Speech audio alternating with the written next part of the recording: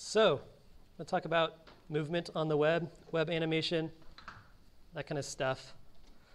Um, movement is very powerful. Um, humans, for some reason, just love to see inanimate objects moving.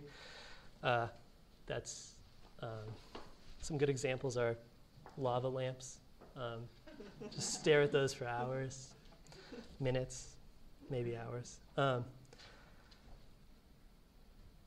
So, for the most part, I'm going to talk about two types of movement on the web. Um, the first type being assistive movement.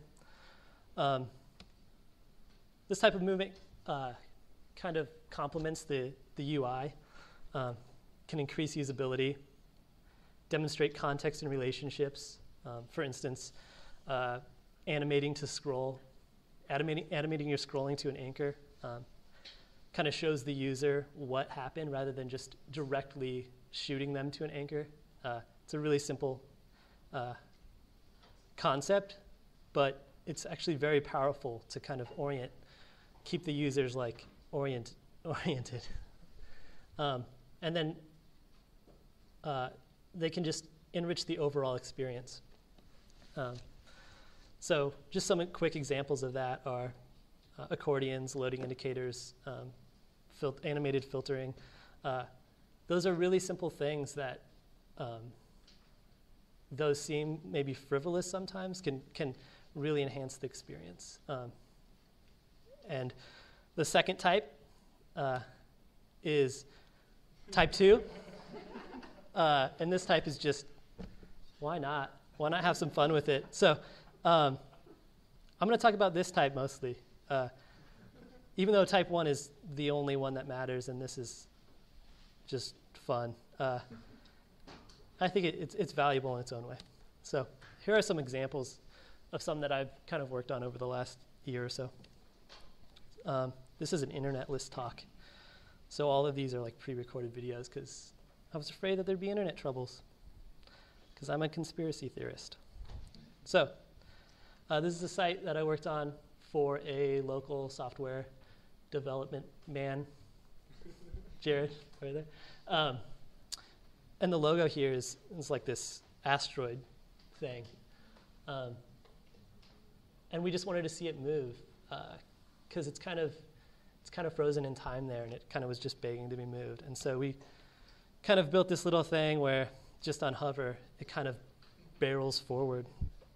Um, it's not moving. This is not foolproof. Is it moving up there? Oh, yeah. cool. It just doesn't on this preview screen. So we just kind of made it made it do what it was meant to do, what it was born to do. barrel forward into space. Um, and this is interesting. This uh, this animation actually got ripped off by Looney Tunes. uh, I know, right? Uh, That's mesmerizing, right? It's like a you know two second animation, less than that. You just stare at that for hours. Um, so this other one was just a really simple one that I did. This is one of the maybe the kind of first of this kind of style of. It's like they're not really U- UI based at all. They they don't even matter, and you could remove them, and it wouldn't change the experience much at all. But this is just a simple one. Which when you get to the footer here, this like this windmill just starts moving. It's it doesn't do, it doesn't add anything really. And then you can roll over those flags and they kind of animate. And I, I just love, like, I can just seriously, uh, maybe it's just me, but I can just like mouse over those for like a few minutes and it's just, I love seeing just the tiniest movement. It's, it's transfixing to me. Um, this is one I did kind of recently for the new Mind Mixer site, uh, designed by Justin Kemmerling. And this is actually his idea. Um, but this kind of area of the home page switches over to a map. You can see the, the toggle over there. And we wanted, he wanted like something kind of fancy to happen. And so we did kind of the, the typical like pins dropping on a map type thing. Um, so watch that happen. So this one, this one is you know UI based a little bit more than the others, um, but it's frivolous. Um, it doesn't enhance the experience, um, or at least the content but it's fun. Um, and here's like kind of the last one that I'll show you. Um, this is the footer of the new MindMixer site. And MindMixer, uh, it's a local startup, if you guys aren't familiar. Um, I just did a finished a four month contract with them, and that's me right there. they made there's like there's a bunch of these, but this is like the this is kind of the smaller view. I'm just zoomed in a bunch um, to kind of show these animations. But one thing I love about them is that they like they have such great iconography, and it's really fun to play with. And so when I you know, got a hold of this design, I was like, man, I want those characters to do something. And so over the four months, we just kept brain, brainstorming. We have a bunch that we want to do, um, and here's a few that we ended up doing. Um, so the first one is bizarre, and they up with, came up with this one, uh, but it's pretty cool. Uh, and you get to see everybody as gladiators. Um, I came up with this next one. It's really simple. Uh, it doesn't even animate. Nobody's turned to ghosts. And this is the last one that we did, where we turned to astronauts. Uh, and I love this one. It like it's it's it's transfixing to me to just like sit there and watch myself like in space, which is like a lifelong dream. Uh, uh, but seriously, so we're we're just gonna watch this for a few minutes and talk about it. Um, but it's really simple stuff. Like this isn't. I mean, this doesn't take any time to do. Um, but I think it's powerful. It's it's fun. Uh, and it's it's not even necessarily for the users um, completely.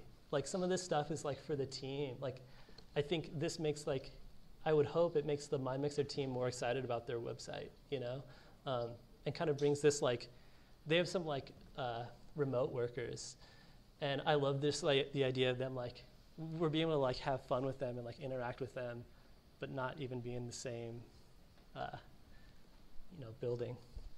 So that's just some of the, the recent kind of animations I've done. Uh, I'm going to quickly talk about a few bugs that I've, I've found recently. Um, I didn't want this to be, really be a technical talk because you guys are all uh, much more smart than me. Yeah, much more smart. Is that even, does that make sense? I'm getting a no from the judge, uh, much smarter than me. So this is one. Um, I ran into this and it took me uh, way too long to figure out. Uh, and it's just that Firefox doesn't like the null transform hack on iframes. And so if you animate an iframe with Fire, like in Firefox, and you're trying to do the like hardware acceleration, like no, or null transform hack, which is this or the translate 3D one, um, it just will the iframes will all be black, um, and it's it was really hard to kind of find that out because the, if, if, if it's on screen when you, when you load the page, it's fine.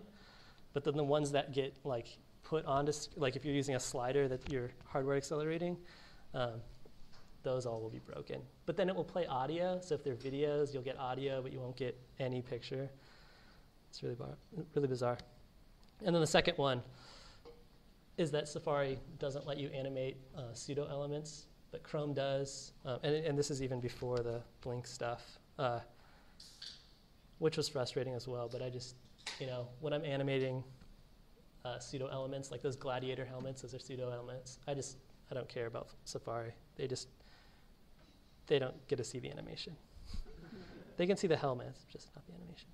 So that was probably the most lightning, lightning talk of all time. So, thank you.